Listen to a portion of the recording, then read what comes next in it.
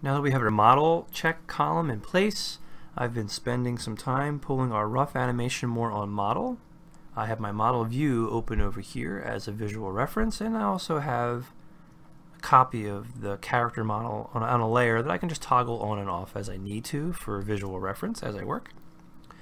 And of course I don't have my little light table turned on yet. That's the light bulb down in the bottom left hand corner of our camera view. If we click that on, you'll notice every other layer except for the layer that you are working on grays out, washes out, so that we can focus. And I also have my thumbnails shown in my timeline. Just click the little hide and show thumbnail icon right over here to help give us more visual representation of where we are in time and we also have our X sheet showing. So let's get to it changed her eyes. In the previous video I had her eyes open, but I decided to keep them closed while she jumped. And now we're trying to get some of the details in there. Make sure that she is properly on model. And one thing we can do to help with that process is one of my favorite functions in Harmony is shift and trace. And we do shift and trace by going to the X sheet. We can click on any particular drawing, in my case drawing number 31. I'm going to right click on my stylus. I'm going to go down to send drawings to desk. Now where is the desk you may ask? I'm going to click that. And if I go to my drawing view, you'll notice that over here there's an extra little table that has opened up on the left hand side. This is our desk. And this is allowing us to draw, rip drawings, so to speak, from our X sheet temporarily. And we're just going to stash, it will stash them over here in our desk. So while we're here, well, let's step back out to our camera. We need a little bit of visual reference first. So we have a frame of reference. Let's try and thin this out a bit more.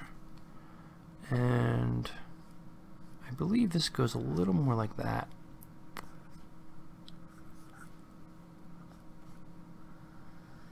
And again, the purpose of the model check column is to help pull our character on model and to find the little details. There, now we have a little bit more of a frame of reference of what exactly is going on here. Why don't we go back into our shift and trace our desk over here. Now the problem is we just have one drawing in here, it's by itself, so we need to add another drawing to it. Um, why don't we show our model and I want to show you a trick. Of course, this mo girl model column I just showed that was hidden um, you know, if we right click, we can go to send drawing to desk or add drawing to desk. Either one of those will work. But as a little shortcut, if you hold down Alt and just click, it will add it automatically to the desk. You'll see it appeared. And also, while we're talking about our desk, uh, I said everything over here was kind of temporary. So we can also use these arrows over here at the bottom of it to just temporarily move the, the order of them. You'll see that we can change the order of the drawings if we wish to. Uh, and now we need to use our onion skin so we can see things. Now we can see right now that our model is kind of huge, right? Well, let's turn on shift and trace. I'm going to draw your attention to a couple icons that are up here at the top. The first one is enabling shift and trace. That just turns it on and off. And the next one over is shift and trace manipulator. So we click that guy and you'll see that well, this may look familiar to you if you're a traditional animator. It looks like a peg bar. If we were to click and drag in the middle here, you can see we're moving our drawing. If we grab these manipulators, it allows us to rotate it. And right now, the ones we may be a little bit more interested in are these ones on the ends. Either end will work. Allows us to scale our drawing down and I'm going to exaggerate this for the purposes of a demonstration. If I scale this down really really tiny, again I want to reiterate everything we do in shift and trace is temporary so if I go out to the camera view she's her normal size. Everything is temporary. So now she's too tiny. Let's talk about the next button over here at the top of our shift and trace toolbar here, a little mini toolbar. If you're hovering as usual, you get a little tooltip that says Shift and Trace Reset. If we click that, voila, puts it back to our normal size. So what I want to do here is I want to just let's check her head proportions. That's kind of scale her down. I'm just trying to eyeball this a little bit. I'm looking at the trunk of her body too. Let's and she is bending over, so let's make sure we scale that down a bit more. So something along those lines. We can rotate her head a little bit. And what I'm looking right now is at the bottom of her chin, like I'm using that as my visual cue, so to speak. And I'm rotating this just a tad.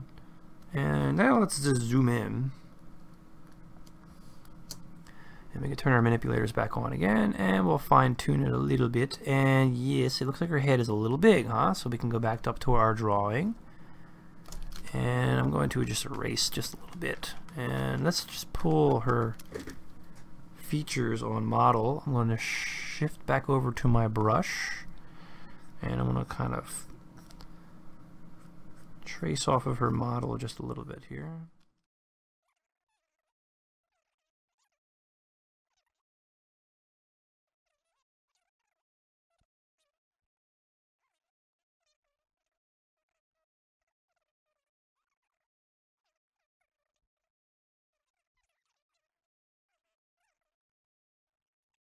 There we go, great.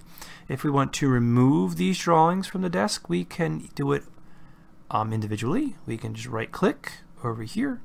We can hit remove the selected drawing or we can click remove all drawings and that will remove them all from our desk. Our desk goes away. We can go back into our camera view. Let's hide her. Goodbye.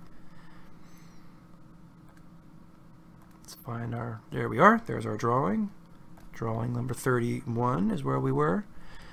And we can continue about our business of getting her in there.